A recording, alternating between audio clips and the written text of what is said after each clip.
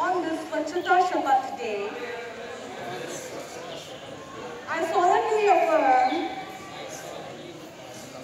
that I, the student of Valley View School, and future citizen of India,